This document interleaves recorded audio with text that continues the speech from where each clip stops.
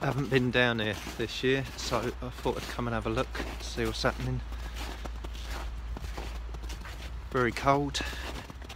See if anything's growing. I think the snow might have brought this chap's fruit cage down. I think he's going to have some work to do on that. Little footprints there. Somebody's been in there, maybe getting a drink or something. All frozen up now. Foxes maybe.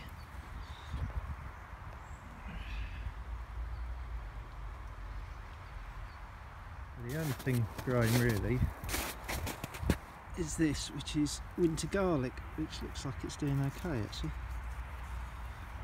That's alright. Seems to be doing okay. Supposed to do it good. Apparently a bit of frost, but a bit of coldness, but I don't know. Let's see Moco.